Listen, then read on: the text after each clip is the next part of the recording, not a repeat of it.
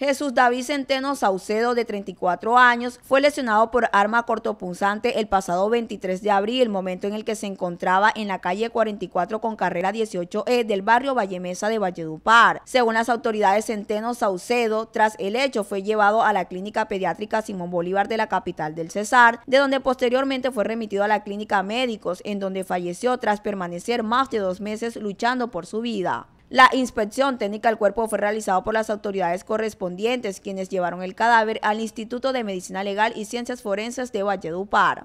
Amaneces mucho antes que el sol y conviertes la tierra en frutos y el fruto en futuro. Agroseba, almacén agropecuario.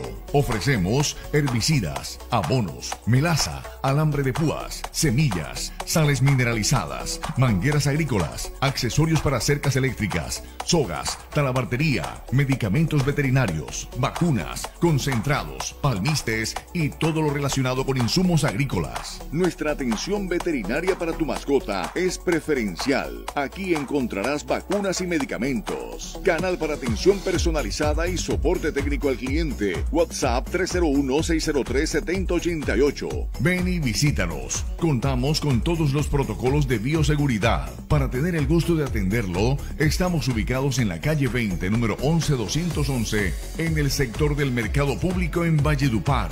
Agroseba, almacén agropecuario